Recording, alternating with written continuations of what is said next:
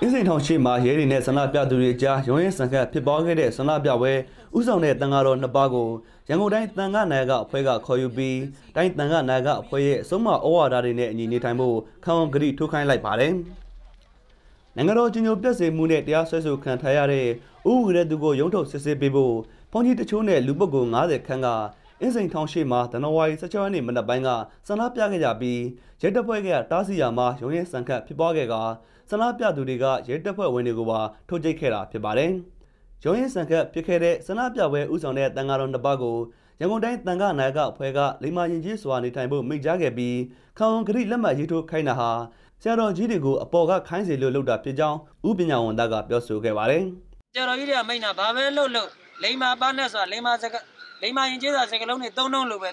မိတ်လိုက်တာမလုံနဲ့လို့မပြောဘူးအခုကဩဝါဒခေါ်ယူပေးခြင်းရလဲတော့အထက်ကပေါ့နော်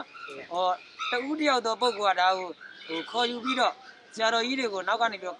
တော့မယ်ဆိုရင်လောက်ခိုင်းလို့ဒါဆရာတော်ကြီးတွေကဩဝါဒခေါ်ယူပေးရခြင်းဖြစ်တယ်ဆရာတော်ကြီးတွေကညီကိုလေးလိုပဲသူတို့တတ်မှတ်တယ်မေတ္တာနဲ့ပဲမင်းတို့အုပ်ချုပ်မယ်အဲ့လိုပဲလားဒါကြောင့်မလို့နိုင်ငံရေးပဲလုပ်လို့လူမျိုးရေးလုပ်ပဲဘာသာရေးပဲလုပ်နေလုပ်နေလိမ္မာပါနဲ့ဆိုတာပြောဆိုပါလိမ္မာပါနဲ့ဆိုတာလောက်ကင်မှာလို့ဆရာတော်ကြီးကဩဝါဒပေးတယ်ဘာမလုပ်နဲ့ညာမလုပ်နဲ့လို့တော့မပါဘူး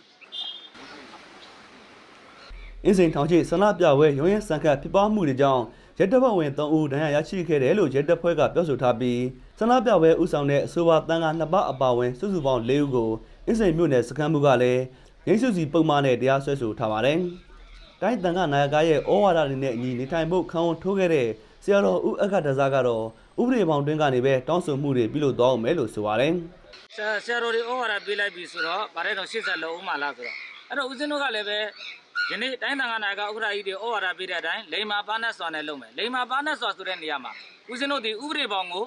မကြော်ဘူးဥပဒေပေါင်းအတွန်းကပဲ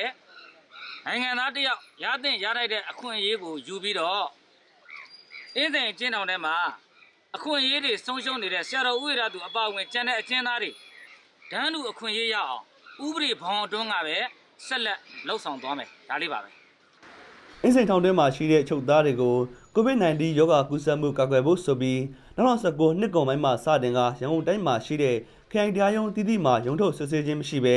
ဗီဒီယိုကွန်ဖရင့်စနစ်နဲ့အမှုစစ်ဆေးတာရမန်ယူတာတွေကိုပုံစံအသင်းနဲ့ပြောင်းလဲကျင့်သုံးနေတာဖြစ်ပါတယ်ခင်ဗျာ။